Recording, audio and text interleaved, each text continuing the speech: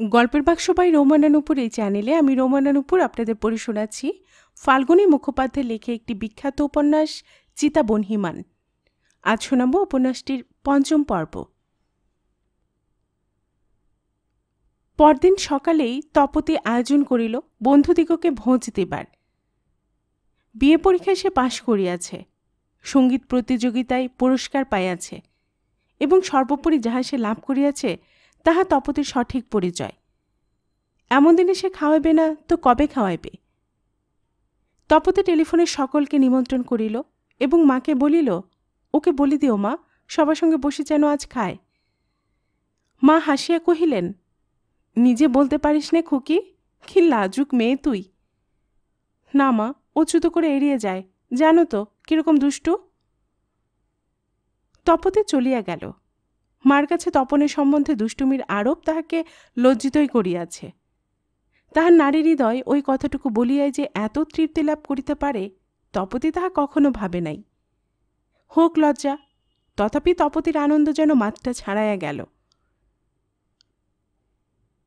নির্দিষ্ট সময়ে সকলেই আসিল। আসিল না শুধু তপন। তপতের প্রশ্নের উত্তরে মা বলিলেন, সাড়ে পাঁচটার আগে সে তো ফেরে না ঠিক সময়ে ফিরবে। নিরুপায় তপতে অন্যান্য সকলকে খাইতে দিল। সাড়ে পাঁচটায় তপন আসিতেই মা তাহাকে সকলের সঙ্গে বসাইয়া দিলেন। তপতি সহস্তে পরিবেশন করিল, চপ, কাটলেট ইত্যাদি। নিরুপায়ভাবে কিছুক্ষণ খাদ্যগুলির দিকে চাহিয়া থাকিয়া তপন কহিল, মাংস খেতে আমি ভালোবাসি নে আমায় একটু রুটি, মাখন দিলে ভালো হয়। মা বলিলেন, একটু খাও বাবা। রুটি মাখন আজ নাইবা খেলে? তুমি তো বোধ্য নও যে অহিংস হচ্ছ। তপন হাসিয়া বলিল, মাংস না খেলে অহিংস হয় না। মাংস তো খাদ্যই। ও খাওয়ায় হিংসাও হয় না। তবে আমার প্রয়োজন অভাব।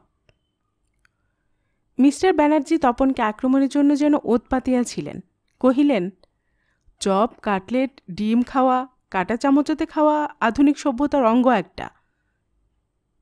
তপন চুপ করিয়া রহিল। উত্তর না পাইলে মিস্টার ব্যানার্জি অপমান বোধ করিবেন ভাবিয়া মা বলিলেন, ওর কথাটি জবাব দাও তো বাবা। হাসিয়া তপন বলিল, সভ্যতা কথাটা আপেক্ষিক, মা। বিলাতের লোক আমাদের অসভ্য বলে। আমরা আবার আমাদের থেকে অসভ্য বাছাই করে নিজের সভ্যতা প্রমাণ করতে চাই। দেশার পাত্র এবং রুচিভেদে ওর পরিবর্তন হয়। তপতে এতক্ষণ পরে হঠাৎ বলিয়া ফেলিল মানুষকে যুগোপযোগী হতে হবে। তপন নির্লিপ্তের মতো বলিল, এটাও আপেক্ষিক শব্দ। আমার সমাজে এই যুগে আমি বেশ উপযোগী আছি। আবার সাঁওতালরা তাদের সমাজে এই বিংশ শতাব্দীতেই বেশ উপযোগী রয়েছে। কিন্তু আপনি তো এসে পড়েছেন আমাদের সমাজে। মিস্টার অধিকারী ব্যঙ্গের সুরে কহিলেন, আপনাদের সঙ্গে আমার পরিচয় আজই প্রথম। এর মধ্যে আপনাদের সমাজে এসে পড়লুম কেমন করে? বুঝলুম না তো? তপন প্রশ্নসূচক ভঙ্গিতে চাহিল। তপতিকে বিয়ে করে? রেবা উত্তর দিল হাসির মাধুর্য দিয়া। তপন কয়েক সেকেন্ড নীরবে থাকিয়া কহিল, আমার ধারণা ছিল বিয়ে করে মানুষ তার নিজের সমাজেই স্ত্রীকে নিয়ে যায়। আপনাদের বুঝি উল্টো হয়? জানতুম না তো? এই তীক্ষ্ণ ব্যঙ্গোক্তি তপতিকে স্পর্শ করিল গভীরভাবে। জেলিমাখা রুটিটা তপনের দিকে আগাইয়া দিতে দিতে সে কহিল, সব স্ত্রী যদি সে সমাজে না মিশতে পারে, না সইতে পারে সে সমাজকে? তপন নিঃশব্দে কাপের চাটুকু পান করিয়া উঠিতে উঠিতে বলিল, সে তবে স্ত্রী নয়, সহধর্মিনী নয়, সে শুধু বিলাস সঙ্গিনী। সব স্বামীরও তাকে সইবার ক্ষমতা না থাকতে পারে। তপন চলিয়া গেল সকলকে নমস্কার জানাইয়া। চির অসহিষ্ণু তপতি, শান্ত, স্নিগ্ধ ঔদর্যে চাহিয়া রহিল তপনের গমনপথের পানে। দৃষ্টিতে তাহার কোনো সুদূর অতীত যুগের উজ্জ্বলতা ছড়ানো। অতিথিদের সকলে চলিয়া যাবার পরেও রহিল Reba. Mister Banerjee, mister Adhikari, mister Sanyal. তপতে উঠি উঠি করিতেছে, ভদ্রতার খাতিরে পারিতেছে না। মিস্টার ব্যানার্জি এবং অন্যরা, যাহারা এতদিন তপনকে পাড়াগে গণ্ড, মূর্খ, বর্বর ভাবিয়া আত্মপ্রসাদ লাভ করিতেছিল, তাহারা আজ নিঃসংশয়ে বুঝিল, তপন মূর্খ তো নহেই, উপরন্তু উহার কথা বলার কায়দা অসাধারণ। উহারা বেশ বুঝিল, তপতি মুগ্ধ হইয়া গিয়াছে। কর্ণের শেষ অস্ত্র ত্যাগের মতো মিস্টার ব্যানার্জি বলিয়া উঠিল, পাঁচালি ছড়া পড়লেও অনেক কিছু শেখা যায় দেখছি। মিস্টার অধিকারী তাহাকে সমর্থন করিয়া বলিল গোড়ামি দিয়েও আধুনিকদের বশ করা যায় দেখা যাচ্ছে। রেবা এতক্ষণ চুপ করিয়াছিল সুযোগ বুঝিয়া খিলখিল করিয়া হাসিতে হাসিতে বলিল বসকাকে হতে দেখলেন আপনারা? কথাটা নতুনত্ব আমাদিগকে একটু চমকে দিয়েছে মাত্র। ভেবে দেখতে গেলে তপনবাবু সেই প্রাচীন কুসংস্কারের জগদ্দল পাথরটাই তপতির ঘাড়ে বসাতে চান, বোঝা যাচ্ছে। অর্থাৎ উনি চান তপতি তার সমাজ, সংস্কার, শিক্ষা, দীক্ষা সব বিসর্জন দিয়ে ওর সঙ্গে সেই ঘোমটা টানা বউ হয়ে থাক। যত অনাসৃষ্টি কাণ্ড লোকটার। মিস্টার শ্যানাল কহিল, নিশ্চয় তাই, নইলে ওই সহধর্মিনী হওয়ার কথাটা তুলবে কেন? সহধর্মিনী যুগ আর নেই বাপু সখিত্বের যুগ চলছে। উহারা যাইবার জন্য উঠিয়া দাঁড়াইল। তপতি কোনো কথাই বলিল না। যদিও এবার কথাগুলি তাহার বুকে গভীর আলোড়ন তুলিয়াছে। সকলে চলিয়া যাওয়ার পরেও তপতি বসিয়া বসিয়া ভামিতে লাগিল, সমাজ সংসার ছাড়িলে তো তাহার চলিবে না।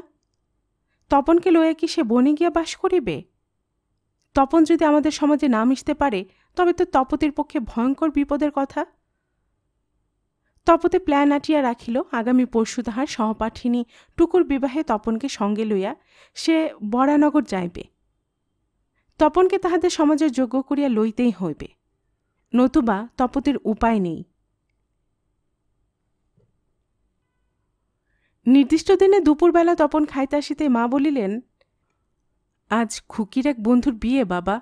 ওর সঙ্গে তোমায় যেতে হবে সন্ধ্যাবেলা, বুঝলে? তপন ভাতের গ্রাসটা গিলিয়া কহিল, আমি নাইবা গেলাম মা। আমার যে অন্যত্র কাজ রয়েছে আগে বললে সময় করে রাখতাম আমি। সে কাজ পরে করো বাবা। মা সস্নেহে আদেশ করিলেন। তা হয় না মা, আমি কথা দিয়েছি। আমার কথা আমি রাখবই। একটা উপহার আমি এনে দেব। আপনার খুকি সেটা নিয়ে গেলেই হবে। আমার না যাওয়ায় ক্ষতি হবে না। তপতে আড়ালেই ছিল। তপন যাওয়াটা এড়াইয়া যাইতেছে দেখিয়া সম্মুখে আসিয়া বলিল, যেতে ভয় করে বললেই সত্যি বলা হয়। না যাবার হেতু? তপনের খাওয়া হইয়া গিয়াছিল। তপতির কথাটা জবাব মাত্র না দিয়া সে আচাইবার জন্য বাহিরে চলিয়া গেল। রুদ্ধ অপমানে তপতির সর্বাঙ্গ কণ্টকিত হইয়া গেল। একে তো যাচিয়া তপনের সহিত যাইতে চাহিয়াছে, তার উপর মাকে দিয়া সেই অনুরোধ করাইয়াছে। আবার নিজে আসিয়া প্রস্তাব করিল, আর ওই ইতর কিনা ভদ্রভাবে একটা জবাব পর্যন্ত দিল না? তপতির প্রশ্নটাও যে ভদ্র জনচিত হয় নাই, ইহা তাহার উষ্ণ মস্তিষ্কে প্রবেশ করিল না। তপনের পেছনে গিয়া সে আদেশের সুরে কহিল যেতেই হবে, বুঝেছেন? মুখ ধুইয়া মশলা কয়টা মুখে ফেলিবার পূর্বে তপন অতি ধীর শান্ত কণ্ঠে উত্তর দিল, যেতে পারব না, মাপ চাইছি। উত্তর দিয়ে তপন চলিয়া গিয়াছে। তপতি যখন বুঝিল, তখন যুগপৎ ক্রোধ এবং অপমান তাকে দগ্ধ করিয়া দিতেছে। সন্ধ্যার পূর্বে তপন একটি ভেলভেটের কেসে একটি মূল্যবান ব্রোচ কিনিয়া মার হাতে দিয়া বলিল, এটা নিয়ে গেলেই আমার না যাওয়ার অসৌজন্য হবে না, মা। মুখ্য সূক্ষ্ম মানুষ, আমার না যাওয়াই ভালো।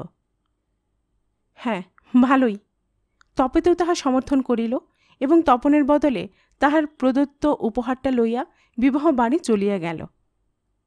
সেখানে বহু লোকের উপরিত দ্রব্যের মধ্যে তপনে দেওয়া ব্রোজটা তুলিয়া দেখা গেল, লেখা আছে, আপনাদের জীবন বসন্তের বনফুলের মতো বিকশিত হোক, বর্ষার জলোচ্ছ্বাসের মতো পরিপূর্ণ হোক শরতে শস্যের মতো সুন্দর আর সার্থক হোক। তপনের আশির বাণী। যিনি পড়িলেন, তিনি পণ্ডিত ব্যক্তি। কহিলেন, বেশ আশীর্বাদটি বছরের শ্রেষ্ঠ তিনটি ঋতুর আশিস যেন ওই কথা কটিতে ভরে দিয়েছে। চমৎকার লাগল। তপনে না আসার জন্য অনেকে ক্ষুণ্ণ হওয়া সত্ত্বেও তাহার আশীর্বাদের প্রশংসা করিল সকলেই। দু চারজন কিন্তু বলিতে ছাড়িল না। জামাই মূর্খ, তাই তপতি সঙ্গে আনে না। ও আশিস কাউকে দিয়ে লিখে নিয়েছে। কথাটা তপতি শুনিল। লজ্জায় সে রাঙা হইয়া উঠিতেছে। কিন্তু বলিবার মতো কথা আজ তার জুটিতেছে না। যত শীঘ্র সম্ভব সে পালাইয়া আসিল।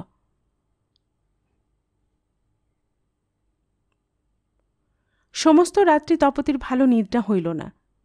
গত সন্ধ্যায় বিবাহ বাড়িতে সে রীতিমতো অপমানিত হইয়াছে। তপন কেন তাহার সঙ্গে গেল না? ভালো ইংরেজি জানে না সে। নাইবা জানিল, তপতি সামলাইয়া লইত মাছ মাংস খায় না বলিলেই কাটা চামচের হাঙ্গামা ঘটিত না। তপনের না যাইবার কি কারণ থাকিতে পারে? কোনোদিনই সে কোথাও যায় নাই। অবশ্য তপতিও ডাকে নাই। কিন্তু ডাকিলেও যাইবে না। এমনকি গুরুতর কাজ তাহার থাকতে পারে। বিদ্যা তো অতি সামান্য। সারা দিন রাত্রি কি এত তাহার কাজ? না যাইবার ওছিলায় সে ওইভাবে খুনিয়া বেড়ায়। কাহারও সহিত দেখা করিতে চাহে না। তপতে আজ নিঃসংশয়ে বুঝিল, কতগুলি পাকা পাকা কথা তপন বলিতে পারে। ভদ্রতা বা অভদ্রতা, অপমান বা সম্মান সম্বন্ধে তার কোনো ধারণা নেই। তাহাকে এ বাড়িতে থাকিতে হইতেছে তাহার উদ্দেশ্য সিদ্ধির জন্যই। সে বুঝিয়াছে তপতিকে সে পাইবে না, এখন টাকায় তাহার লক্ষ্য। কিন্তু কাল তো তপতি তাহাকে আত্মদান করিতে প্রস্তুতি ছিল, তথাপি তপন কেন গেল না? তপতির আন্তরিকতার অভাব সে কোথায় দেখিল? ভোরে উঠিয়াই তপতি স্নান করিয়া এলোচুল ছড়াইয়া বসিল খাইবার ঘরে। তাহার অঙ্গের স্নিগ্ধ সুরভি ঘরের বাতাসকে মন্থর করিয়া তুলিয়াছে। পূজা করিয়া তপন চা খাইতে আসিল। মা দুজনকে খাবার দিয়া বসিয়া আছেন। তপতি যেন আপন মনেই বলিল, আজ বিকেল আমি সিনেমায় যাব, নিয়ে যেতে হবে আমায়। মা হাসিয়া কহিলেন, শুনেছ বাবা, ওকে আজ যেন নিয়ে যেও। তপন মৃদুস্বরে কহিল, আজ থাক মা, আমার ছোট বোনটিকে আজ একটু দেখতে যাব। যদি বলেন তো কাল সিনেমায় যেতে পারি। রাগে তপতির সর্বাঙ্গ কাঁপিতেছিল তাহার অসংযত মন বিদ্রোহের সুরে ঝঙ্কার দিয়া উঠিল। থাক, কাল আর যেতে হবে না, বোনকে নিয়ে থাকুন গে। বোনের বাড়ি থাকলেই পারতেন? মা ধমক দিয়া উঠিলেন। কিসব বলছিস খুকি? চুপ কর। থামো তুমি মা। কাজিনের উপর অত দরদের অর্থ তুমি বুঝবে না। তুমি থামো। তপন চায়ের কাপটা চুমুক দিতে যাইতেছিল। নামায় রাখিয়া উঠিয়া দাঁড়াইল। মা ব্যস্ত হইয়া কহিলেন, উঠলে যে বাবা, খাও, বসো। তপন বাহিরে যাইতে যাইতে শুধু বলিল, আপনার খুকিকে বলে দেবেন মা, আমি আধুনিক যুগের তরুণ নই। আমার বোন বনই তপন সিঁড়ি দেয়া নিচে নামিবার পথ ধরিল। মা বিপন্না বোধ করিয়া কি করিবেন ভাবিয়া পাইতেছেন না। তপতে রুখিয়া নিচে নামিতে নামিতে পেছন হইতে তপনকে বলিল, যান, চলে যান, আসবেন না আর। তপন ফিরিয়া দাঁড়াইয়া বলিল, আমি চলে যাই, এই কি চান আপনি? হ্যাঁ চাই চাই চাই, আজই চলে যান, এক্ষুনি চলে যান। তপনের দুই চোখে সীমাহারা বেদনা ঘনাইয়া উঠিল। নির্বাক স্তব্ধভাবে সে দাঁড়াইয়া আছে। ব্যঙ্গ করে তপতি বলিল, দু লাখ তো নিয়েছেন আরও যদি কিছু পারেন তো দেখছেন, কেমন? বিস্মিত তপনের কথা ফুটিল, কহিল, শ্যামসুন্দর চাটুর্যের নাতনি সামান্য দু লাখ টাকার সন্ধানও রাখেন দেখছি। ক্রোধে আত্মহারা তপতির আভিজাত্যে আঘাত লাগিল। সক্রোধে সে জবাব দিল শ্যামসুন্দরের নাতনির বাবাকে কোনো জোচ্চর ঠকে দু লাখ টাকা নিয়ে যাবে? এসে সইবে না, মনে রাখবেন। যাবার আগে টাকাটার হিসেব দিয়ে যাবেন যেন। উত্তরের অপেক্ষা না রাখিয়া তপতি চলিয়া আসিল। মা ভাবিয়াছিলেন, তপতি তপনকে ডাকিতে যাইতেছে। কিন্তু তাহাকে একা ফিরিতে দেখিয়া ব্যাগ্র, ব্যাকুলভাবে প্রশ্ন করিলেন, তপন কই খুকি? জানি নে, চুলোই গেছে। বলিয়া তপতে আপন ঘরে চলিয়া গেল। বিপন্না মাতা উহাদের কলহের কারণ খুঁজিয়া পাইতেছেন না। খুকির ঘরে আসিয়া তিনি পুনরায় প্রশ্ন করিলেন, কি বলে গেল রে? না খেয়ে গেল যে? তপতের রাগ তখনও পড়ে নাই। তথাপি সংযত কণ্ঠে উত্তর দিল, আসবে এক্ষুনি ভাবছ কেন তুমি? কি সব বলিস বাপু? তুই রাগের মাথা ওরকম বিশ্রী কথা কেন তুই বলিস খুকি? তপতি এবার আর রাগ দমন করতে না পারিয়া কহিল বলেছি, বেশ করেছি। কি এমন বললাম যে না খেয়ে গেলেন? ভারী তো মা ভাবিলেন, দম্পতির কলহ। চিরশান্ত তপন নিশ্চয় রাগ করিয়া যায় নাই। কিন্তু ভয় তাহার জাগিয়াই রহিল মনের মধ্যে। বেলা প্রায় বারোটার সময় টেলিফোনের ঘণ্টা বাজিয়া উঠিতেই উৎকণ্ঠিতা তপতি ছুটিয়া গিয়া ফোন ধরিল। মাও তখনই আসিয়া পাশে দাঁড়াইলেন। তপতি শুনিল পুরুষ কণ্ঠেকে বলিতেছেন, তপনবাবু আজ বাড়ি ফিরবেন না, কাল সকালে ফিরবেন। কেন? কোথায় থাকবেন? তপতি প্রশ্ন করিল। কিন্তু উত্তরদাতা ফোন ছাড়িয়া দিয়াছে। মা ব্যাকুল কণ্ঠে কহিলেন, কে ফোন করেছে রে, তপন? হ্যাঁ আজ আসবে না, বোনের বাড়ি থাকবে। বলিয়া তপতি চলিয়া যাইতেছিল। পুনরায় ফিরিয়া কহিল, রাগ করেনি মা কাল ঠিক আসবে। আমায় বলল, ভেবো না তুমি। মা নিশ্চিন্ত হইলেন কি না বোঝা গেল না। কিন্তু তপতি ধরা পড়িবার ভয়ে পলায়ন করিয়া ভাবিতে লাগিল, কোথায় আর যাইবে? যাইবার জায়গা তো ওই ফুটপাত, আর তপতিরই বাপের দুই লক্ষ টাকা। টাকার হিসাব দিতে হইলেই চক্ষু চরকগাছ হইয়া যাইবে। ও ভাবিয়াছে, যাইবে বলিলেই তপতি ভয়ে কাঁদিয়া পড়িবে পায়ে? তপতির অদৃষ্টে তাহা কখনো লেখে নাই, কিছুতেই না। তপতির হাসি পাইল। তাহার পিতামহের গোড়ামি কম ছিল না, কিন্তু তাহার পেছনে ছিল যুক্তি।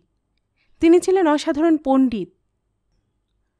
আর তপন কতগুলি বাছা বাছা বুলি কপচাইয়া ভাবিয়াছে তপতির অন্তর জিতিয়া লইল। অত সহজ নয়, তাহা হইলে আর ভাবনা ছিল না।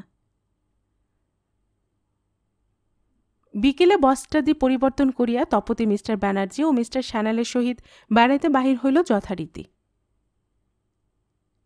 পরদিন সকালেই তপন ফিরিয়া আসিল ক্লান্ত বিষণ্ন মুখশ্রী লইয়া। তপতির সহিত তাহার কি কথা হইয়াছিল মা কিছুই জানিতেন না। তিনি তপনকে স্বাগত সম্ভাষণে সস্নেহে বলিলেন, শরীর ভালো তো বাবা, বড্ড শুকনো দেখাচ্ছে। হ্যাঁ মা, শরীর ভালোই আছে, খেতে দিন কিছু। বলিয়া তপন খাইতে বসিল। তপতে আপন ঘরে বসিয়া দেখিল, তপন ফিরিয়াছে এবং নির্লজ্জের মতো খাইতেছে। অদ্ভুত এই লোকটা। এত বড় অপমান করার পরেও সে নির্বিকার। কোন মহান উদ্দেশ্য সাধনের জন্য সে এরূপ অপমান সহিতেছে, তপতির আর তাহা অজানা নাই। ভালো, উহার ভণ্ডামির শেষ কোথায় দেখা যাক। দিন দুই তপনের আর কোনো খোঁজ না লইবার ভান করিল তপতি। সে দেখিতে চাহিতেছে, তপনের দিক হইতে কোনো আবেদন আসে কি না। কিন্তু তপন পূর্বের মতোই নির্বিকার, আসে, খায়, চলিয়া যায়। তৃতীয় দিনে তপতি ভীষণ উত্তপ্ত হইয়া উঠিল। এমন করিয়া সে আর পারে না। তপন আসে, খায়, মার সহিত পূর্বের ন্যায় দু একটা কথা যাহা কহিত তাহা বন্ধ করিয়া দিয়াছে। দুই দিন তপতির সুযোগ খুঁজিয়া ফিরিয়াছে। সুবিধা হয় নাই। তপন যেন আপনাকে একেবারে অবলুপ্ত করিয়া দিয়াছে। অথচ নীলজের মতো খাওয়ার থাকাটা তো তেমনই রহিল। এতই যদি উহার সম্মান জ্ঞান তবে চলিয়া গেল না কেন? তপতি নিশ্চয় জানে, যে কোনো লোক নিতান্ত অপদার্থ এই অপমানের পর চলিয়া যাইত। তপনে না যাওয়ার কারণটা এতদিনে বেশ ধরা পড়িয়া গিয়াছে। তপতি সেদিন আগুনের খেলা খেলিয়া বসিল। মিস্টার ব্যানার্জিকে লইয়া সিঁড়ির পাশে ঘরে একটা সোফায় তপতে বসিয়া বেহালা বাজাইতেছে। তপন এখনই আসিবে। তাহাকে দেখানো দরকার যে তপনের থাকা না থাকায় বা রাগ অভিমানে তপতির কিছুই যায় আসে না। ঠিক সাড়ে পাঁচটায় তপন প্রবেশ করিল। মিস্টার ব্যানার্জি কহিলেন, ভালো আছেন? টিকি দেখা যায় না যে? টিকি নেই, ধন্যবাদ। বলিয়াই তপন পাশ কাটে চলিয়া যাইতেছিল। তপতি বেহালার ছড়িটা দিয়া তপনকে খোঁজায় কহিল, ভদ্রভাবে জবাব দিতে পারো না, উল্লুক? আহ, করেন কি, মিস চ্যাটার্জি? বলিয়া মিস্টার ব্যানার্জি তাহার হাতটা ধরিলেন। তপন চোখের কোণে দৃষ্টিপাতও করিল না। ধীরে ধীরে সিঁড়ি বাহিয়া উপরে উঠিতেছে। শুনিতে পাইল, তপতি বলিতেছে, ওকে লাথি মারলে যাবে না, জুতো মারলেও যাবে না। সত্যি কিনা মেরে দেখুন? তপনের হৃৎপিণ্ডে কে যেন একসঙ্গে লক্ষ লক্ষ হুল ফুটাইয়া দিয়েছে। ধীরে ধীরে সিঁড়ির কয়েকটা ধাপ নামিয়া আসিয়া তপন পূর্ণ দৃষ্টিতে তপতির মুখের দিকে চাহিয়া প্রশ্ন করিল, আপনি কি আমার কাছে মুক্তিই চাইছেন? তপতি নিজের মাথাটা মিস্টার ব্যানার্জি কাঁধে রাখিয়া মৃদু হাস্যে বলিল, চাইছি, দাও তো, দেখি তোমার কত ঔদার্য। সত্যি চাইছেন? তপন পুনরায় প্রশ্ন করিল, মিস্টার ব্যানার্জির একখানা হাত নিজের মসৃণ ললাটে ঘষিতে ঘষিতে তপতি ঝঙ্কার দিয়া কহিল হ্যাঁ হ্যাঁ হ্যাঁ চাইছি, দাও আমায় মুক্তি, পারবে দিতে? দিলাম, আজ থেকে আপনি মুক্ত, আপনি স্বতন্ত্র, আপনি স্বাধীন। তপন সিঁড়ি বাহিয়া উপরে উঠিয়া গেল। তপতের তৎক্ষণাৎ মনে পড়িল, ওই অদ্ভুত লোক যে দুই টাকার পাখি চার টাকায় কিনিয়া আকাশে উড়াইয়া দেয়। তাহাকে বিবাহ বন্ধন হইতে মুক্তি দিয়া গেল? তপতের সহিত তাহার আর কোনো সম্বন্ধ রইল না? না না না না, তাহা কি হইতে পারে? তপতিকে সে বিবাহ করিয়াছে। এত সহজে মুক্তি লাভ সম্ভব নয়। ওটা একটা কথার কথা। ও তো এখনই আবার বাইরে যাবে। তখন জিজ্ঞাসা করিবে, তপতি, দুই লক্ষের উপর আরও কত টাকা সে গুছায় আছে মিস্টার ব্যানার্জি কহিলেন, লোকটার থাপ্পা দেবার শক্তি অসাধারণ। তপতে এতক্ষণ আবিষ্কার করিল, সে এখনও মিস্টার ব্যানার্জির কোলে পড়িয়া আছে। এখনই কেহ দেখিয়া ফেলিবে? তাড়াতাড়ি উঠিয়া বাজনাটা লইয়া বসিল। অনেকক্ষণ অতীত হইল। তপন নামিতেছে না কেন? আজ আর বাহিরে যাইবে না নাকি? আগ্রহান্বিতা তপতি একটি ছুতা করে উপরে গিয়ে দাঁড়াইল তপনের রুদ্ধতার কক্ষের জানলার পাশে দেখিল পরম বিস্ময়ের সহিত। তপন, ভণ্ড, অর্থলোভী তপন, উপর হইয়া ফুলিয়া ফুলিয়া কাঁদিতেছে তাহার পূজার বেদিমূলে। উহার হইল কি? ও কি এমনিভাবে কাঁদিয়াই তপতিকে হার মানাইবে? এখনই মা দেখিবেন, বাবা জানিতে পারিবেন, একটা কেলেঙ্কারি বাঁধিয়া যাইবে। তপতির ভয় করিতে লাগিল। এত অপমানে যাহার এতটুকু বিমর্ষতা তপতি দেখে নাই, আজ অতি সামান্য কারণেই সে কেন কাঁদিতেছে? ও, তপতি মিস্টার ব্যানার্জির কোলে শুইয়াছিল বলিয়াই উহার জেলাসি জাগিয়াছে। নিশ্চয়ই। হাসিতে তপতির দম আটকে যাইবার জো হইল। মিস্টার ব্যানার্জি, যাহাকে তপতি জুতার ডগায় মারাইয়া চলে নিচে না গিয়া আপন ঘরে আসিয়া তপতি খুব খানিক হাসল। ওই লোকটাও তবে জেলাস হতে পারে? আশ্চর্য! উহারও এ বোধ আছে নাকি? থাকিবে না কেন? ও তো নির্বোধ নয়। আপন স্বার্থসিদ্ধির জন্য অপমান সহ্য করিতেছে। তপতিকে ওনাকে স্বেচ্ছায় মুক্তি দেবে। তাহা হইলে আর ভাবনা ছিল না। ভালোই হইয়াছে। ঈর্ষায় উহার অন্তরটাকে তপতি ক্ষতবিক্ষত করিয়া দেবে। দেখিবে তপতি কত সহ্য শক্তি উহার আছে। তপতি মার কাছে গিয়া দাঁড়াইল। মা জিজ্ঞাসা করিলেন, তপন এখনও ফিরছে না কেন রে? জানিস কিছু? মা জানেন না তপন ফিরিয়াছে। নিঃশব্দে আসিয়া তপনের দরজায় তপতে একটা জোর ধাক্কা দিল। তপন সম্বিত লাভ করিয়া যখন চোখ মুখ মুছিয়া বাহির আসিল, তখন তপতি সরিয়া গিয়াছে। মার সহিত কি কথা হয় শুনিতে হইবে। তপতি আড়ালে দাঁড়াইল। মা তপনের মুখ দেখিয়া বলিলেন, কি হলো বাবা? মুখ তোমার বিশেষ কিছু না মা, খেতে দিন। খাবার দিতে দিতে মা আবার জিজ্ঞাসা করিলেন, সত্যি বলো বাবা, কি তোমার হয়েছে? বড্ড ক্লান্ত দেখাচ্ছে তোমায়। এক জায়গায় একটু আঘাত পেয়েছি মা, তা প্রায় সামলে নিলাম। কি আঘাত বাবা? কোথায় আঘাত লাগল? মা ব্যাকুল কণ্ঠে প্রশ্ন করিতে লাগিলেন শারীরিক না মা, মানসিক। শারীরিক আঘাত আমি সবই প্রায় সইতে পারি মা। মানসিক সব আঘাত এখনও সইতে পারি না। তবু সয়ে যাবে মা।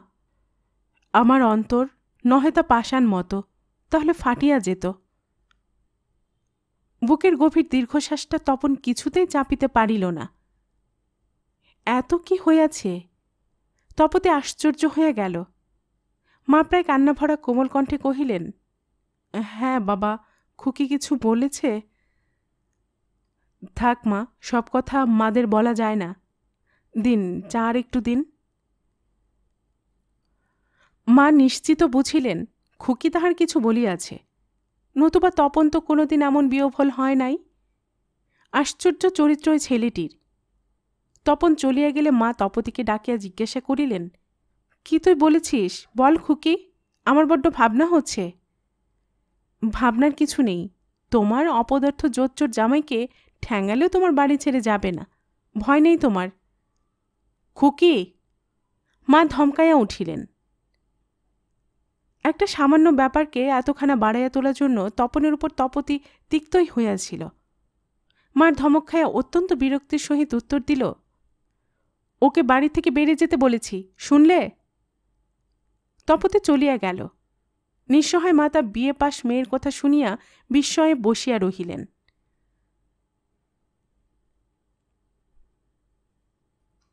সরাহত বিহঙ্গীর ন্যায় ব্যথিত হৃদয়ে শিখা ও মীরা শুনিল, তপনের মুখে তাহার ভাগ্য বিপর্যয়ের কাহিনী।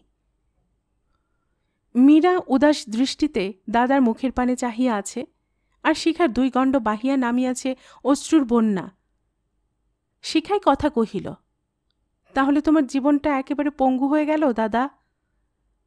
না ভাই, এই ভালো হয়েছে। আজ ঈশ্বরকে বলতে ইচ্ছে করছে, এই করেছ ভালো, এমনি করে হৃদয়ে মোর তীব্র দহন জ্বালা। আমার এ ধূপ না পোড়ালে শিখা তপনের ব্যথা করুণ গান সহিতে পারিল না। মুখে হাত চাপা দিয়া বলিল, থামো দাদা, তোমার পায়ে পড়ি, থামো। তোমার ঈশ্বর তোমার থাক, আমাদের তাকে দরকার নেই। যে নিষ্ঠুর বিধাতা পবিত্র জীবন কেমন করে নষ্ট, শিখা আর বলিতে পারিল না। ফোপাইয়া কাঁদিয়া উঠিল। মীরা কহিল, চুপ কর শিখা, মানুষের কান্নায় ভগবান অবিচল, তার কাজ তিনি করবেনই বিনায়ক দূরে বসিয়া উহাদের কথোপকথন শুনিতেছিল। আগায় আসিয়া বলিল, তাহলে কবে যাচ্ছিস? একুশে যাবি তো? হ্যাঁ ভাই। আমি না ফেরা পর্যন্ত তোদের কাজ যেন ঠিক চলতে থাকে। মীরা জিজ্ঞাসা করিল, সেখানে তোমার কত দেরি হবে, দাদা? খুব বেশি? তা জানি নে বোনটি, এখন আমার কাজ সহজ হয়ে গেছে। আর তো কোনো বন্ধন নেই। মুক্তি সে স্বেচ্ছায় চেয়ে নিল, তোরা সুখে আছিস? আমি এবার সেখানে যতদিন থাকি না, খবর দেব তোদের। ভাবনা কেন? মীরা চুপ করিয়া রহিল শিখা পুনরায় প্রশ্ন করিল ক্রন্দনজড়িত কণ্ঠে, তুমি কি তবে দেশান্তরী হয়ে যাবে, দাদা? না, বোনটি, আমার মাতৃভূমি বাংলা ছেড়ে যাব কোথায়? আমি একনিষ্ঠা পত্নী চেয়েছিলাম, নিজে হয়তো একনিষ্ঠ হতে পারিনি, তাই বঞ্চিত হলাম, এবার যোগ্য হতে হবে। তুমি কি তাহলে তপতিকে এখনও ভালোবাসো, দাদা? বাসি, আত্মবঞ্চনায় কোনো লাভ নেই ভালোবাসি বলেই তাকে অত সহজে মুক্তি দিতে পারলুম। তার বুকের বোঝা হয়ে থাকতে ইচ্ছে করল না। আমার মনের আসনে ওর স্মৃতি আমি বহন করব, শিখা। আমার চোখের জলে নিত্য ধুয়ে দেব সেই আসন। ও যদি আবার তোমায় ফিরে যায়, দাদা? মীরা প্রশ্ন করিল তপনকে। সে আর হয় না, বোনটি। আমার সত্য চিরদিন অবিচল। কিছুর জন্য সে ভাঙে না। কিন্তু তোরা এমনি বসে থাকলে কি করে চলবে রে? চল সব, কাগজপত্রগুলো ঠিক করে ফেলি। বিনায়ক, তুই তোর কারখানা চালা ভাই, আমি আমার কাজের মধ্যে আত্মবিসর্জন করব এবার। বিনায়ক নতমুখে দাঁড়ায় রহিল। শিখা বলিল, তোমার কাজটা কি, দাদা? মানুষ গড়ার কাজ। বোনটি, তোদেরও সাহায্য চাই। পৃথিবী থেকে মানবতার সাধারণ সূত্রটি লোপ পেতে বসেছে। আমি শুধু দেখিয়ে দিতে চাই, পশু থেকে মানুষ কোথায় ভিন্ন? পাশবত্ব আর মানবত্বের মাঝখানে যে সূক্ষ্ম ব্যবধান রেখা রয়েছে, তাকে স্পষ্টতর করা হবে আমার কাজ। তোমার জ্যোতির্গময় বইখানা হিন্দুস্তানি ভাষায় অনুবাদিত হয়ে পুরস্কার পেল। আর বাংলাদেশে মোটে বুঝলই না। এদেশের মানুষকে কী দিয়ে তুমি গড়বে, দাদা? বিদেশ থেকে গড়া আরম্ভ করব? যে কোনো বিষয়কে অশ্রদ্ধার চোখে দেখা বাঙালির স্বভাবে দাঁড়িয়ে গেছে। এ স্বভাব সহজে যাবার নয়। কিন্তু আয় তোরা। তপন সকলকে লইয়া অগ্রসর হইল। বিনায়ক মৃদুস্বরে কহিল আমিও সঙ্গে গেলে হতো না তপু, একা যাবি অত দূর? হ্যাঁ একাই যাব। সঙ্গী যার হবার কথা ছিল, সে যখন সরে গেল, শিখা আবার কাঁদিয়া ফেলিল। তাহার নারীচিত্ত তপনের বেদনার গভীরতাকে মাপিতেছে না। শান্ত, শুদ্ধ তপন বারংবার বিচলিত হইয়া উঠিতেছে কোন অসহনীয় যন্ত্রণায়, শিখা যেন তাহার নিজের বুকে অনুভব করিতেছে। অত্যন্ত করুণ কণ্ঠে সে কহিল, লক্ষ্মী দাদা আমার, আজন্ম ব্রহ্মচারী তুমি। আমাদের ভগ্নী স্নেহ নিয়েই কি তুমি চালাতে পারবে না? ঠিক চলে যাবে দিদি, কিছু না থাকলেও চলতো। নিরবধিকাল কোথাও আটকায় না। কিন্তু তুমি বড্ড ব্যথা পেয়েছ দাদা। নিজের জন্য নয় বোনটি, ওর জন্য। ও কেমন করে এত বড় জীবনটা কাটাবে? ও আবার বিয়ে করবে? আহা, তাই করুক। ও বিয়ে করে সুখী হোক, শিখা। আমি কায়মনে আশীর্বাদ করছি। কিন্তু দাদা, তুমি এবার আত্মপ্রকাশ করো। ও বুঝুক কি ধন হারালো। ছি বোনটি, ওর উপর কি আমার প্রতিহিংসা নেবার কথা? ও যে আমার, এ কথা আর কেউ না জানিলেও আমি জানি। তাহলে তুমি মুক্তি দিলে কেন, দাদা? তোমাকে বা ও চিনল না কেন? ওর শিক্ষা ওকে বিকৃত করেছে শিক্ষা মুক্তি না দিলে ও কোনোদিন আমায় চিনবে না। অনেকদিন তো অপেক্ষা করে দেখলাম। ওকে ওর মা বাবা যেভাবে গড়েছেন, তেমনই তো সে চলবে। তবে সে যদি আমার হয়, তাহলে আমি তাকে পাবই। একটা জন্ম কেন? তার জন্য লক্ষ জন্ম আমি অপেক্ষা করতে পারব। তুমি তাহলে আত্মপ্রকাশ করবে না? না, তাহলে তো এক্ষুনি আমায় চাইবে। আর সে চাওয়া হবে আমাকে নয়, আমার মর্যাদাকে। তেমন করে ওকে পেতে আমি চাইনি। আমি দরিদ্র তপন, মূর্খ তপন, ভণ্ড এবং অর্থলোভী তপন। এই তার ধারণা। এ ধারণাটা বদলাবার চেষ্টাও সে করল না। কারণ সে সর্বান্তকরণে আমাকে অমনি ভেবে ত্যাগ করতে চায়। বিয়ে যদি না করে, শ্যামসুন্দর চাটুর্যের নাতনির দ্বিতীয় বিবাহ সহজ হবে না। আমি তার কি করব, শিখা? আর কঠিনই বা কেন হবে? ওর বাবার একমাত্র মেয়ের সুখের জন্য নিশ্চয় করবে। তবে তপতি যদি নিজে বিয়ে না করে, তো অন্য কথা। তাহলে কি করবে তুমি? কিছু না, শিখা। আমার সঙ্গে তার এ জন্মের সম্পর্ক চুকে গেছে। আমি কায়েন মনসা কথা বলি, ছলনা করি, মুক্তি দেবার ভণ্ডামি আমি করি না। প্রয়োজন হলেই রেজিস্ট্রারি করে দেব। সকলে অফিস ঘরে আসিল। স্নেহাস্পদ জামাতাকে বাড়ি হইতে চলিয়া যাইতে বলায়, মা যে অত্যন্ত ক্ষুব্ধ হইয়াছেন তপতের তাহা বুঝিতে বিলম্ব হয় নাই। কিন্তু তপন তো সত্যি চলিয়া যাইতেছে না। আশ্চর্য, এত বড় অপমানটা সে সহিয়া গেল? যাইলে বরং তপতি বাঁচিয়া যাইত। বিদেশে থাকিলে লোকের কাছে তবু বলা যায়, বাড়িতে নেই। ঘরে থাকিয়াও পার্টিতে যোগ না দিলে লোকে যে কথা বলে। পার্টিতে যোগ দেবার যোগ্যতা যে উহার নাই, লোকে তো তাহা বোঝে না। তপতি স্থির করিল। তপনকে অপমান আর করিবে না, যাহা খুশি করুক। তপতির অদৃষ্টে স্বামী সুখ নাই, কি আর করা যাইবে? তপনকে লইয়া ঘর করা তাহার অসাধ্য। তপতি তিন চার দিন একবারও এদিকে আসে নাই। তপন নিয়মিত সময় আসে, খায় এবং চলিয়া যায়। ইহা সংবাদ তপতি রাখিয়াছে ওই নির্লজ্জ লোকটা আবার মুক্তি দেবার ছলে তাকে শাসাইতে আসে। বলে, তুমি মুক্ত, স্বাধীন, স্বতন্ত্র। লজ্জা বলে কোনো বস্তু কি হওয়ার অভিধানে একেবারে লেখা নেই। কিন্তু সেদিন অত কাঁদিল কেন? তপতে উহার কোনোই কিনারা করিতে পারিল না ভাবিয়া। পঞ্চম দিন সকালে সে আসিয়া মাকে বলিল, আমি তাহলে আজই ভর্তি হচ্ছি গিয়ে, মা, এম এ ক্লাসে। তপন খাইতেছিল। মা তাহাকে প্রশ্ন করিলেন, তুমি কি বলো বাবা তপন?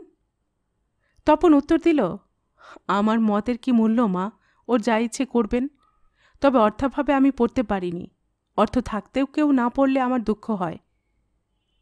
না বাবা, পড়ুক। বলিয়া মা তপতিকেও খাইতে দিলেন।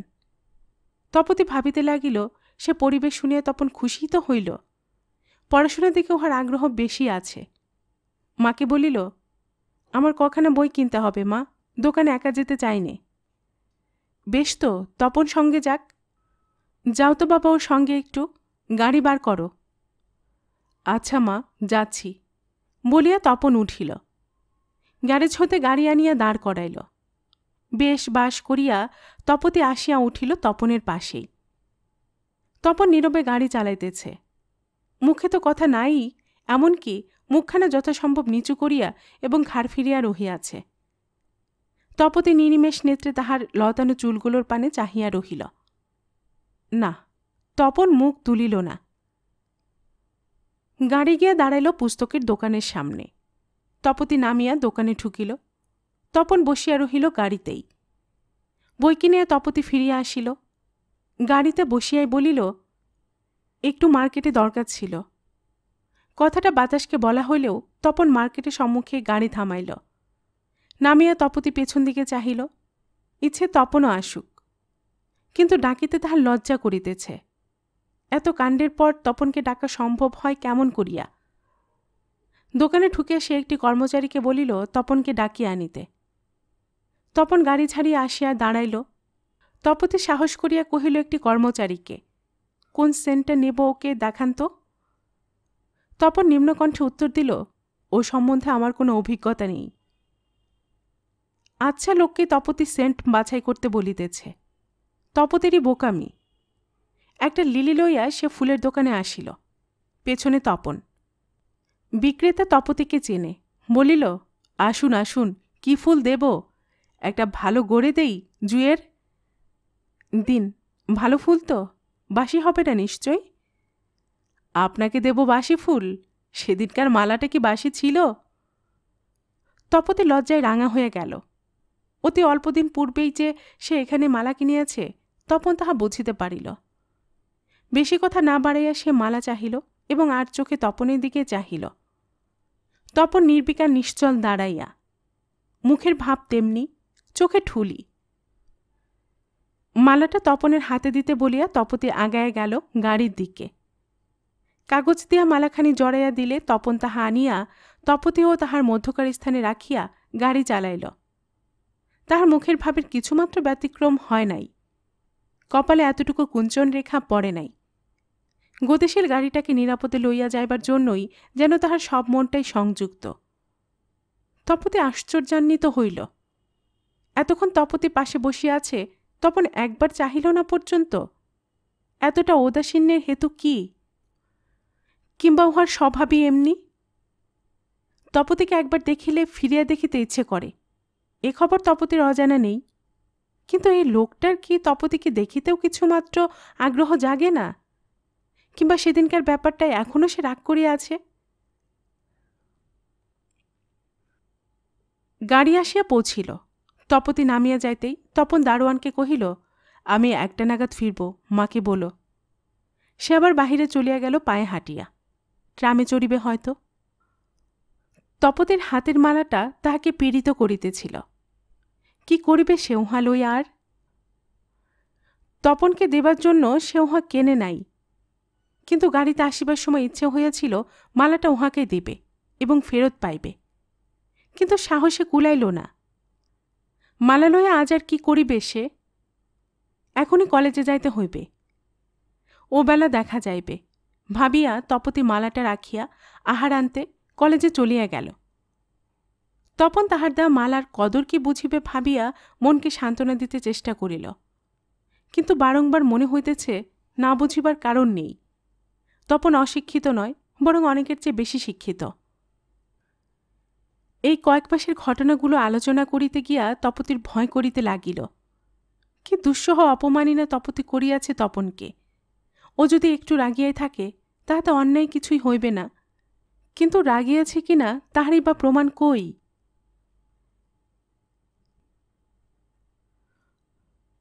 বিকেলবেলা তপতি মার কাছে আসিয়া খাবার তৈরি করতে বসিল। বহুদিন আসে নাই। মা যেন কৃতার্থ হইয়া গেলেন। ভাবিলেন তপনকে খাওয়াবার জন্য খুকি তাহার রান্নাঘরে আসিয়াছে। মা তাহাকে নিরামিষ চপ কাটলেট তৈরির মশলা যোগাইয়া দিলেন। তপনের জন্য রান্না করিতে তপতি লজ্জা করিতেছিল। তাই বলিল, মিস্টার বোসকে আসতে বলেছি মা, একটু আমিষও রাঁধব। মা বিষাদিতা হইয়া উঠিলেন, খুকি আজও তপনের জন্য কিছু করে না, কিন্তু তাহার কী বা বলিবার আছে? তপতি রান্না চড়াইয়া লুকায় মিস্টার বোসকে ফোন করিল, চা খাইতে আসিবার জন্য। মিস্টার বোস আসিবার পূর্বে আসিল তপন। মা বলিলেন, বোস সাহেব তো এখনও এলো না খুকি, তপনকে খেতে দে। এক্ষুনি এসে পড়বে মা, একটু বসতে বলো। তপতি আবদার ধরল। তপন কিছুই বলিল না, নিঃশব্দে বসিয়া রহিল। মিস্টার বোস আসতেই সুসজ্জিত সকালের মালাটা বাহাতে জড়াইয়া বাহিরে আসিল নমস্কার করিতে। মিস্টার বোস নমস্কার করিয়া বলিলেন হাসি মুখে, সুন্দর আপনাকে এমন চমৎকার মানিয়েছে আজ?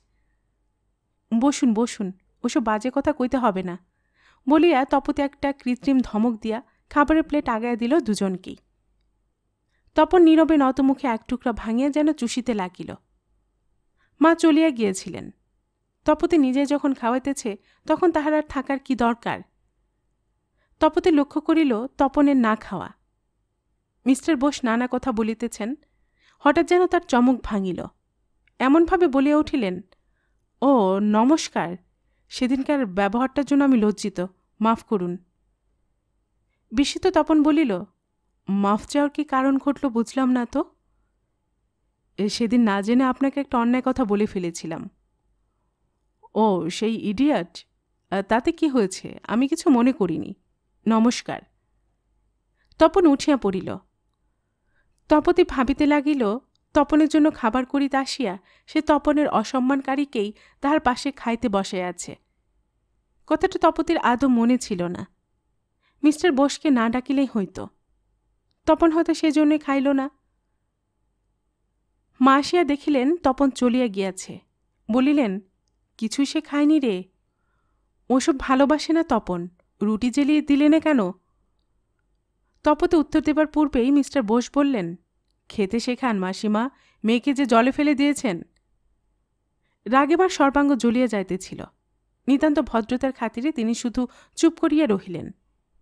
তপতে কিন্তু কহিল, থাক, আপনাদের তুলতে ডাকা হবে না।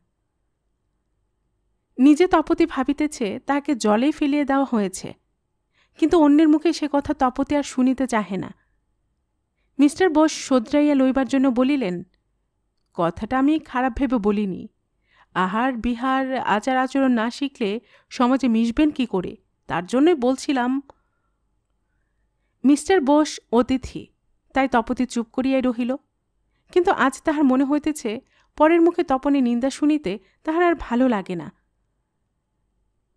অসুস্থতার ছুতা করিয়া তপতি মিস্টার বোসের সহিত সেদিন আর বেড়াইতে গেল না।